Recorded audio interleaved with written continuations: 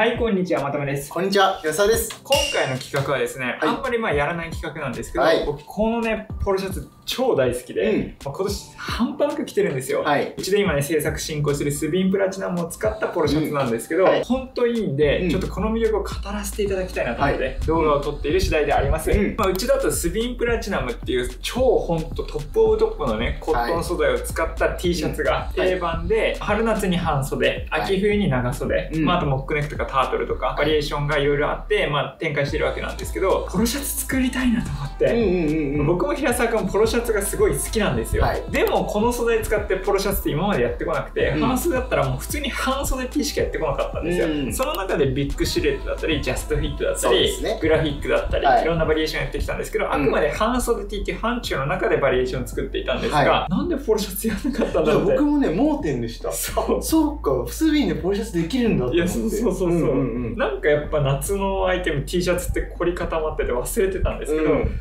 普通にポロシャツめっちゃ着てたんで毎年。そうだよね。これちょっとスビンプラチナムでやった方がいいわと、うんうんうん。こんないい素材ないからと。うん。いうところで作ったところ、うん。えまだ完成してるわけじゃないんですけど、うんうん。まあ、やっぱめちゃくちゃ良くて、うん半袖 T シャツも最高にいいんですけど、はい。ポロシャツ着たい時あるじゃないですか。ありますね。でもね、えーやっぱこの素材の着心地がいいから、うん。T シャツ着ちゃうってことがあるあるだったんですけど、うん。これでポロシャツ作れたからはい。ちょっと夏だけど大人っぽく見せたい時とか、うんうんポロのがいいじゃないですか。いいですね。品もあるしでこの高級な素材感だし、はい。っていうところで今まで僕その半袖 T バッグ着てたってのもあってスインプラチナムポロを今年はねめっちゃ着てるんですよ今、んちょうど今着てて、うん。このまま間違いなく8月も着用しまくるなと思っています、いうん。あこの夏一番着たトップス。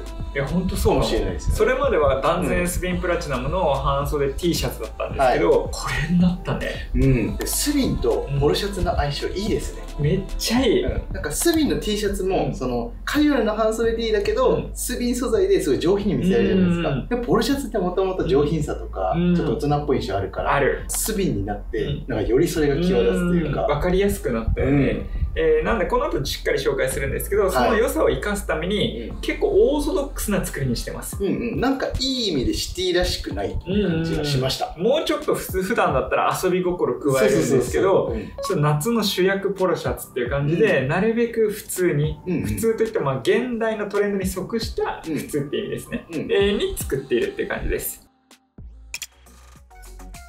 まあそもそもスビンプラチナムってどんな素材かっていうとコットンのもうトップオブトップ、はい。ほんと超最高の素材だと思ってください、うん。スビンっていう言葉自体、まあ、ファッション詳しい人だったらあると思うんですよ、はい。まあ高級コットン素材の代名詞的な感じなんで、うん。そのスビンの中でも一番いいのがスビンプラチナム。はい。で。スビンプラチナムまで使ってるブランドはハイブランド見てももうほんとないんでうん。多分世の中的に本当いい素材を使ってるって思われている、まあ、実際使ってる国内のブランドとかでも、はい。えスビンだったらスビンプラチナムじゃなくてスビンゴールドだったり、うんゴールドは、えー上から2番目ですね。うんうん。でそれも本当最高って言えるぐらいすごいんですけど、うんさらに超えていくのがスビンプラチナムです。うん。で実際高級感も半端ないですし、はい。何よりやっぱ一番驚くのは着心地ですね。うんうん。着心地いいとか悪いとかあんま気にしないよっていう人いっぱいいると思うんですけど、これ着たら気にしちゃうと思う。ん、そうでうす、ね。戻れなくなっちゃうんですよ。やっぱね、なんかいいものを知ってしまうのは罪です。いやこれやばいですよ、うん。僕も今までいろんな服超着てきたんですけど、はい。一番着心地よかった服何かって言われたら間違いなくスビンプラチナムです。いや、僕もそうですね。これは超えられないと思う、うん、そうなんですよ。もう無限に僕さすがに服持ってますし着てきたんですけど、うん。2位が思いつかないぐらいダントツで1位、うん。それぐらいすごいです、うん。でその素材使ってポロシャツにしたんではい。より大人っぽくなってるし、うんうん。差別化も効くようになってる、うん。どこまで行っても夏はやっぱ半袖 T 着てる人ばっかりなんでそうですね。ポ。ロシャツって超有名なアイテムなのに、うん。街中見てもらえれば分かるんですけど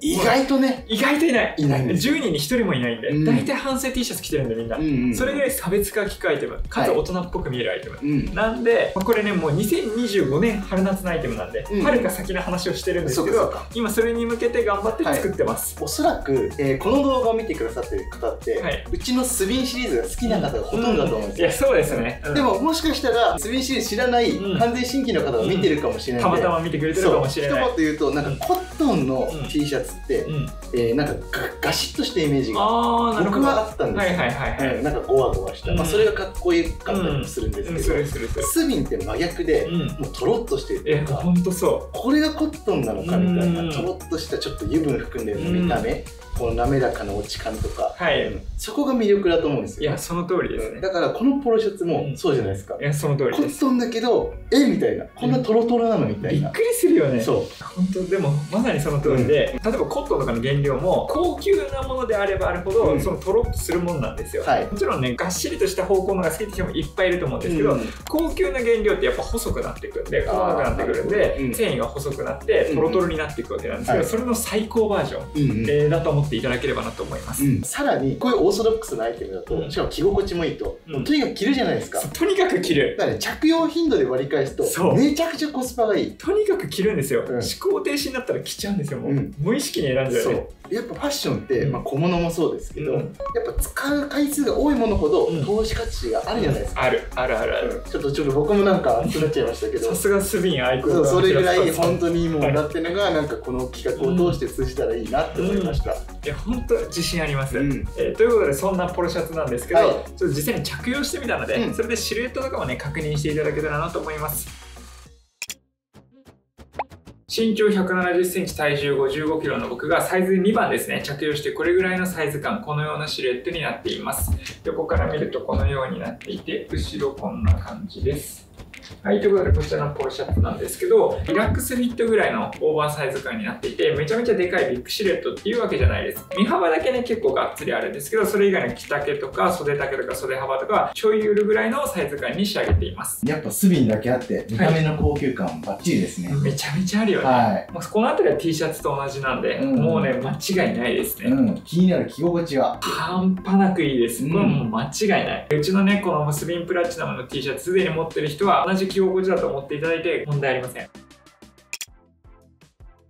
ということでね、スビンってどんな素材なのかとか、はい。えまあ、着用したらどんな感じなのかっていうのをね、お伝えさせていただいたんですけど、これサンプルなんですよ。はい。えーでここからちょっとね、微調整があるっていうのと、うん。空張り他にもいくつか作ってるんで、はい。それがまだ全然出来上がっていないと、うん。で。出来上がったらリリースしようと思ってるんですけど、とはいえもう来年の夏に着るアイテムになってくるんで、はい。結構リリースは先かなといった感じです。うん。えーなので気長にね、お待ちいただければなと思います。でちょっと実際に手に持ってみました。はい。うん。やっぱもう滑らかで滑らかなんですよ。ずっ。と触ってられますね。でこの素材が生きるような縫製になってたりとか、は例えばこことかも少しシンプルで、うん。縫い目とか出てこないわけですよ。うん全然見えないじゃないですか、まあ、はい。あるはあるんですけど、うん。見えないようなね設定になっていたりこことかもねうん。ステッチがそう走ってないんですよここは、はいはい。なのでこの高級感が途切れないように、うん。とにかくシンプルに今回作ってます。うん。で一応この企画は愛用品紹介かな、はいはい、うん、人生が変わったポロシャツということで、具体的にどう変わったのかっていうのをああなるほど、まあ、このポロシャツだからというかもうスビンプラチナム自体がっていう話にはなっちゃうんですけど、はい。快適すぎる。うん。だからこればっかり着ちゃう。快適すぎてちょっともう他着れないんですよ、うん。えっとラーメン食べる時とか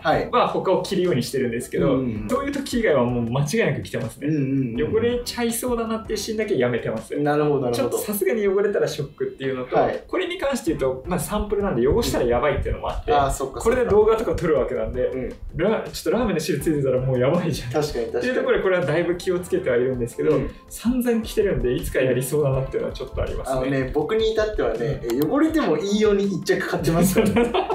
わかプります？ラスアルファね。そうそうそうそう。なんか漫画とかもあるじゃん。なんかよ、うん鑑賞用と保存用あーありますね。そういうノリでちょっとスリも複数買いしちゃってるぐらい。平沢君同じ色同じサイズで複数買いする癖あるもんね。そうなんですよ。結構すごいと思う。なんかシティのアイテムって買うチャンスがうん。基本週に1回っていうか、うんあの52週間年間で、うん。で一度しか基本は売らない、え売らないですね。はい。っていうのがあるのでちょっと買い逃したくないかうん。らちょっと一度にちょっといいなって思ってなるほどなるほど。特に T シャツはなんか複数持つといいなってうん。僕思ってるんで、なんかでもやっぱり複数買いが異常に多い品番ではあるんですけど、うんお客さんの見てるとはい。他のいろんなカラー買って、いろうん。えっとサイズも変えてとか。はい。グラフィックバージョンとかジャストフィットバージョンとかあるんですけど平沢君はお同じものを買うんですよ、そうですね、全く同じカラー同じサイズ、同じシルエットを複数持つみたいな、うんうんうんすごいよマジで、あんまりちょっと参考にならない。参考にしていいのかわかんないから。そこまでしてくれる人はさすがに少ないんで、はい。い、やめちゃめちゃ嬉しいです、うん。ちなみに平沢君は、えースリンプラチナム、まあ、僕より正直着てると思うんですけど、はい。人生変わりましたか？変わりました変わりました。何が変わった？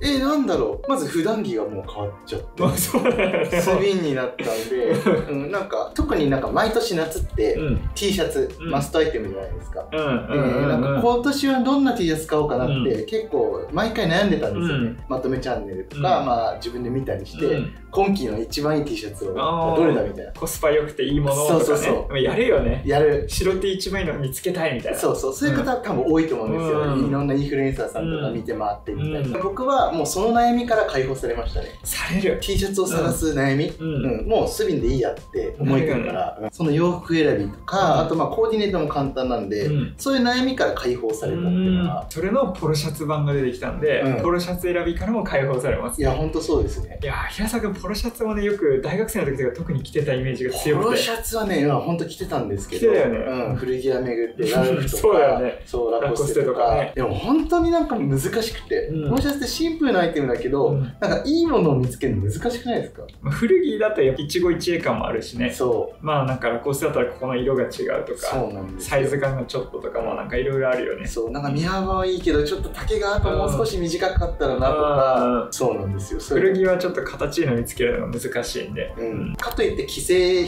ブランドで、うん。なんかちょっと今っぽい作りしてるものとかはあんま多くないじゃないですか、うん。結構まあなんかトラディショナルな作りしてたりとか、うんそれはそれでかっこいいんですけど、うん。やっぱちょっと今っぽいもうん。のがブランドっぽいのが欲しい、うんってん。で僕はちょっとハマりそうですね、ななるほどなるほど、うんあとは、うん。そうだな着るだけでテンションが上がるっていうのもまあ上がるよ人ね生が変わったポイントかもしれない、この素材は本当いいんで着心地もいいし、うん。あの上からまあ見るじゃないですか自分の洋服とか歩いてたりして視界に入ると思うんですけど、テンション上がるんですよ。そうですね。マジでいい。なんか夏に T シャツを着て出かける、うん。別にテンションが上がる要素は基本的にないないですか。ないない。でスビンだと、うん。なんかちょっと一味違う一いや日になる。そうだよね、うん。気分高揚しますよね、うん、あとやっぱ実際に、うん。ごめんなさいね。うん。遮っちゃって、はい。あ実際に人から褒められる機会が増えましたね。うん。いや分かりやすくいいもんね。そう。この素材感ツヤ感ってうん。服知らない人が見てもすごいってなるんですよ、うん。ぬべっとしたちょっと霜降りというかすごいんですよね、このツヤが。うん、T シャツで人から褒められた経験多分そんなないんで、うん、うん。なんか結構僕あ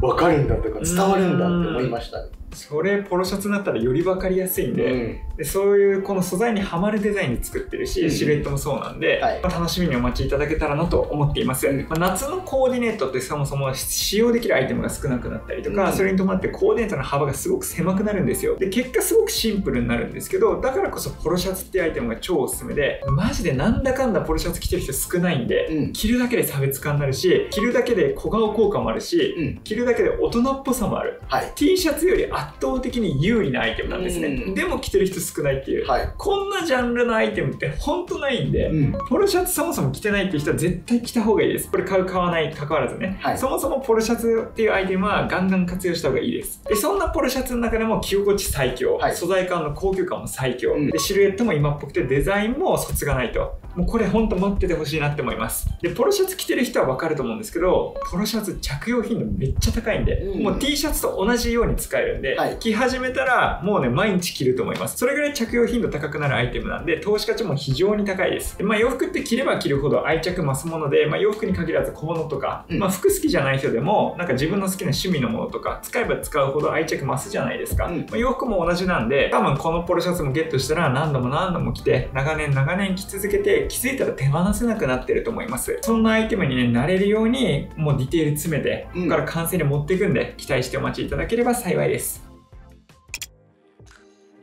えー本日はですねめちゃめちゃシンプルなコーディネート久しぶりなんですけど普通のコーディネートちょっと作ってみました、はい。白ポロシャツスピンプラチナム素材を使ったポロシャツですね。今まで T シャツ作っていたわけですけどポロシャツをね来年は出そうかなと思っていましてそれを作って早速今年着ているといった感じ、めちゃめちゃシンプルに作ってるんでこれもうほんと万人受けするデザインシルエットで最高の素材で作ったっていうポロシャツ。にまあ腕時計つけたりとか、はい。まあ可愛いですよねこれ、うん。まあサンプルなんでここから大きく変わりますが、うんあとミニリュックですね。バリスティックナイロン。バリスティックナイロンのリュックあるじゃないですか。それをすごい小型化したえショルダーバッグうんになってます。ミニショルダーバッグリュック型なんだけど。っていう合わせ、はい。でまあパンツもブラックですし超シンプルですね。そんな特に何も喋ることないぐらい 普通の格好をしてます、はいかなり久しぶりにそうですアクセもつけてないし、はい。なんかもう暑すぎて今。おかしいんですよ最近。36度とか。なので必然的になんかこんなになっちゃった、うん、アクセも熱くてつけてないっていう感じのコーディネートになってます ここまで、えー、スビンの魅力を熱く、はい、まあ、僕も加わってかな、そうです、ね、2人で語ってしまいましたが、うん、えー、スビンシリーズの今後の展開、はいはいはい、気になる人多いと思います。えー、スビンプラチナムの、はい、えー、ロンティー、前回でそんな売れなかったんで、さすがにもう僕の視聴者さん、欲しい人は全員行き渡ったかなと思ってて、それはもうやめようかなと。なるほど。そうでちょっと残念。はい。ポロシャツあるしいいかなって思ってて、とりあえずこれかなって思ってるんですけど、シャツかな。スビンプラチナムの、まあ、同じ素材じゃないんですけど、同じ原料を使ったダブルジャージーっていうね、もっと厚みのある、それのシャツ以前出したんですけど、それはもう超好評で、まあ一発目だったからっていうのもあると思うんですけど、なんでもう一回やろうかなと思ってはいるものの、それもうありえない激安で出したんですよ初回っていうのもあって。次やる時もう2倍近い値段になっちゃって、はい、もうそんなんちょっと新しく買う人からしたらすごいじゃん、うん、え？ってなるじゃん、うん、結局出せないかなっていう気もしてるんですけどうちってその初っ端だけ激安でやる癖があるんで、はい、これもそうなんですけど多分、うん、まだ値段決めてないけど、はい、初回ちょっとやばい値段にしようかなって思ってるんで、うんうん、下手したらこれだけかもしれないですね来年は。なるほどなるほど。でもシャツできればやりたいと思ってる、はい半袖。ロンティーはもうほぼ確実にやんないと思う。いやロンティーは欲しかったって半袖 T もほぼ確実までは言わないけどまあまあやんやんない方が確率高いかなって思ってますね,、ですね。っていう感じで考えています、うん、でまあねまた需要が出てきたら必ずやりたいと思ってるんで、はい、例えば3年後とかさすがにもうまた欲しくなってるでしょ、はい、ってタイミング来たらロンティーとか、タートルとかもまたやっていこうかなと思っています。これめちゃくちゃ話それるんだけどはい。なんかこれあのオフィスカジュアルにもいけるなって思っちゃいました私服が許されるところだったら、うん、まあ、全然いけると思いますね、うん、いいと思う。結構僕も前職で、うん、そのポロ休日とか土日とかは、土日出勤をしてるんですなるほど土日出勤してた時はポロシャツいてたんですよ。ああそっか。えっ、ー、と平日はスーツで。平日はスーツで。なるほど。そう、うん、すごいいいなと思ってあそうなんだね、うん、そういう時にぴったりなのか、うん、僕の職場割とそういうのはカジュアル許される職場なんで、僕の職場で言えば全然ありです、なるほど。でも相当シンプルに作ってるんで、確かに言われてみればいけるなって気しますね。うん着心地もいいし。確かにそうだね。ちょっと贅沢だけど。えでもかっこよく見えるしいいかも。いいよね、ということでめちゃめちゃいろんな話をしてきたわけなんですが、はい、えこのポロシャツの今後、まあ進捗だったり僕はこれを着たコーディネートとかね日常のコーディネートとかは、えー、LINE 限定でね配信していたりするんでそういった動画見逃したくない方、新しい情報を追いたいっていう方は、ぜひね、概要欄にあるリンクから LINE 登録していただいて、スウィンプラチナムのポロシャツ、今後についてね、追っていただければなと思います。そこ登録しておけば、このリリース見逃すってことはまずないです。ということで、今回の動画以上となります。ご視聴いただきありがとうございました。バイバイ。